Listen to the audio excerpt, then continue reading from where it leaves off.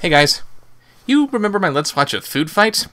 Well, I finally got it down to the point where I can easily send it to people over Gmail if they so asked for it. So just go ahead and ask for it at bobsheaux at gmail.com, and I'll be sure to send it to you with the Google Drive. Um, just a little bit of warning though, I had to do a lot of dumbing down for this file. It used to be over an entire gig worth of uh, video footage, so if I'm going to send this over Google Drive, I'm going to want it in somewhat of a more manageable size, which means that it's going to sadly look something like this. Hardly perfect, but hey, at least it's available for you all. So again, just go ahead and mail me at bobsheaux at gmail.com, tell me that you want this video, and I'll be happy to send it to you.